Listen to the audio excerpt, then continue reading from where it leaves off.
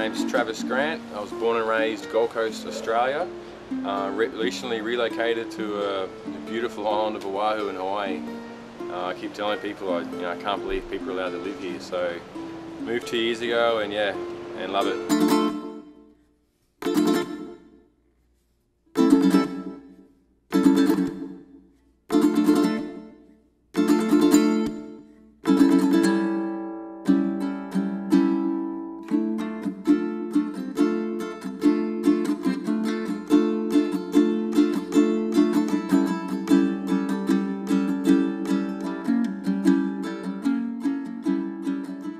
Born and raised on the beach. I really don't know, I couldn't imagine my life without the ocean.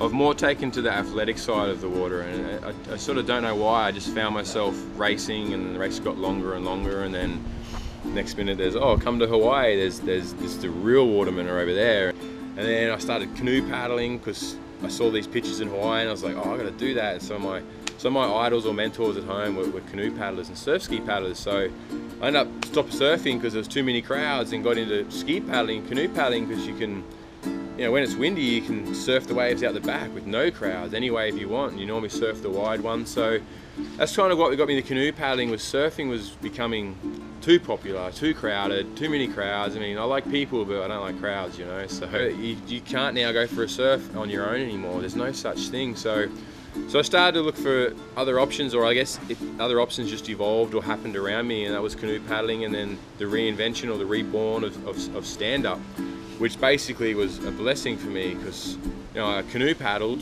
I surfed, I didn't like the crowds. Oh wow, it's a sport that I can paddle and while I'm standing up, you know. So I couldn't believe. I was like, wow, this sport's kind of made for me. Like, this is unreal.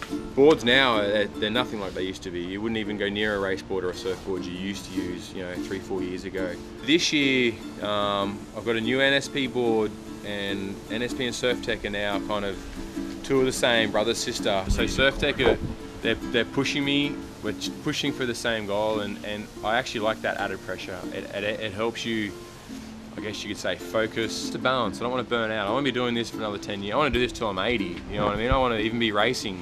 And I think I can. Uh, it's, it's I said, balance your body, balance what you balance your eat, sleep.